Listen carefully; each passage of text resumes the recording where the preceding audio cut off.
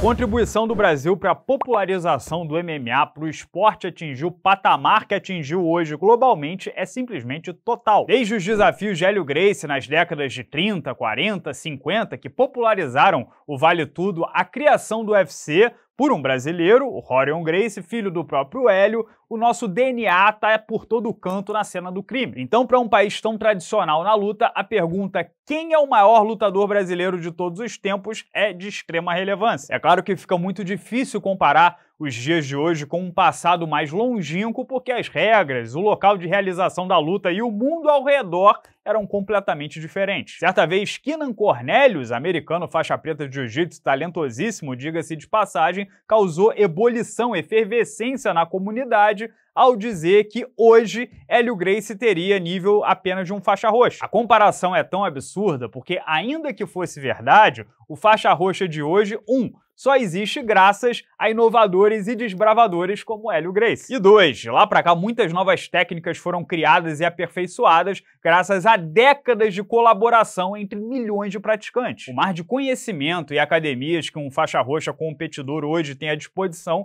não pode ser comparado ao que havia no passado. Seria o mesmo que dizer que em 2023 a Boeing faz aviões melhores do que os irmãos Wright em 1903. Hoje você tem todos os campeões mundiais repetindo as posições por ângulos diferentes no YouTube. Na época, ele viu, ele e o, irmão, Carlos Grace, né, o irmão mais velho, viram o Conde Koma praticando o que era o jiu-jitsu, o judô, e passaram a replicar. A questão é, se o Keenan Cornelius tivesse nascido em 1913, o jiu-jitsu estaria onde está hoje? Ele teria aperfeiçoado a arte, a sua forma, e teria valentia para lotar um Maracanã enfrentando muito mais pesado Masahiro Kimura? Então, para responder essa pergunta complicada, na maioria das vezes até fantasiosa, é necessário fazer concessões e considerar as épocas. Estou fazendo essa introdução longa porque o maior lutador brasileiro de todos os tempos é um assunto delicado e merece uma lupa por cima. Considerando as novas gerações, ou seja, caras que lutaram em eventos compatíveis, debaixo das mesmas regras,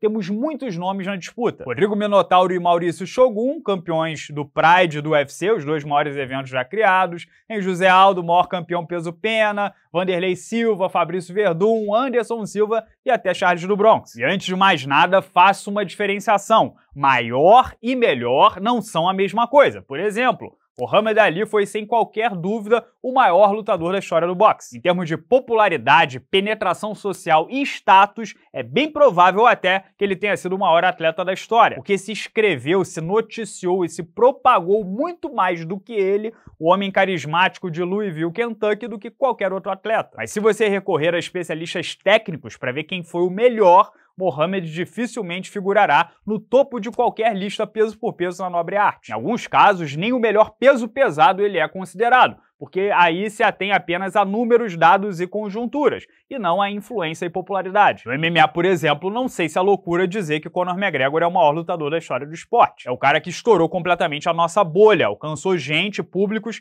que ninguém mais alcançou mas duvido que qualquer um aqui botaria ele numa lista de top 10 melhores lutadores. No caso do Brasil, acho que o maior e o melhor eram a mesma pessoa que atendia pelo nome de Anderson Silva. Porque ele, além de ter sido protagonista do boom de popularidade que o esporte teve por aqui em 2011, é o único com 17 vitórias consecutivas e 10 defesas de cinturão no UFC. Em outras palavras, o Anderson, ao mesmo tempo que foi o mais popular, também foi aquele que alcançou maior relevância numérica. Talvez até seja o único que podemos dizer, pelo menos até agora, que foi incontestavelmente o melhor da história de uma categoria do UFC, o peso médio. Coisa que se expandirmos até para José Aldo, Maurício Shogun, Rodrigo Minotauro, não dá para cravar. Só que, claro, nem todo mundo concorda com essa tese. Em entrevista entrevista ao podcast MMA Hoje, Diego Lima, principal treinador do Charles do Bronx, disse o seguinte, aspas, essa comparação é polêmica, mas para mim Charles é o maior.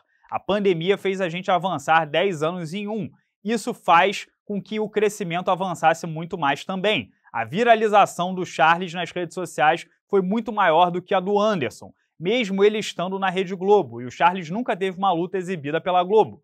Mesmo assim, Hoje as redes sociais são maiores. Eu sou suspeito para falar, mas hoje Charles do Bronx é o maior nome. Antes de mais nada, para deixar claro, o Diego reconhece que é suspeito para falar, não é alguém isento no debate. Mas ele tem alguma razão aí. O Charles é extremamente popular e não só com o público brasileiro. Do contrário, não seria o atleta com mais quarto atleta com mais seguidores nas redes sociais. Só que há controvérsias. É verdade, o Charles não passou na Rede Globo ao vivo para todo o Brasil, como Anderson Silva, José Aldo e até Júnior Cigano. Só que em 2011, no auge do Anderson, as redes sociais não eram tão massivas e influentes quanto são hoje, nem de longe. E o UFC também não era tão popular, não era uma empresa avaliada em mais de 10 bilhões de dólares. Todos os números são absolutamente incomparáveis. Se o Anderson fosse hoje o número um peso por peso, como era, fazendo com Forrest Griffin e Anderson Silva o que fez, quantos seguidores ele teria entre a molecadinha das redes sociais. Então esse lance das redes sociais é uma comparação injusta.